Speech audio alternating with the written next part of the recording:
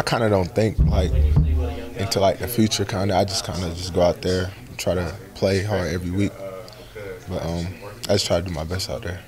Does that give you confidence, though, that the coaches think that highly of you're? Uh, it's for sure like good to hear that like teammates and coaches and people around me feel like that I'm um, improved a lot, and it just go to show like I did, I did put a lot of time in to get better, and uh, I still got a lot to get better at.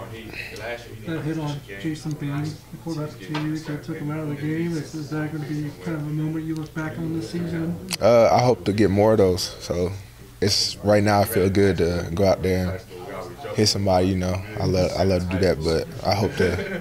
You know, we got three more games or four more games now, so I hope to just keep continuing to do stuff like that. You, you and Felix got any kind of competition going for, uh, for tackles for loss?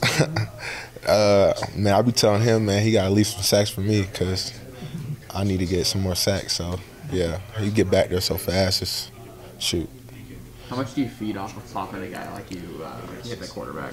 Uh, those are like momentum, like type, like confident boosts, like plays. You know, like for a defense, especially like on third down, uh, getting off the field and then getting off the field like that is just something that just kind of hype up the team. Austin Moore getting a, quite a bit more snaps last couple of weeks. How much Yeah. success? Oh, he's done. You get to play with him now. Oh yeah, I always had a lot of confidence in uh, Austin. I just seen him grow the last couple of years he's been here, and he's gonna be a special player. And then West Virginia, kind of a team you guys haven't been able to beat. Was that on your Man, mind? yeah, for sure. Um, you hear other guys talking about revenge tour. It don't get no better than these last three games because we owe all these three teams.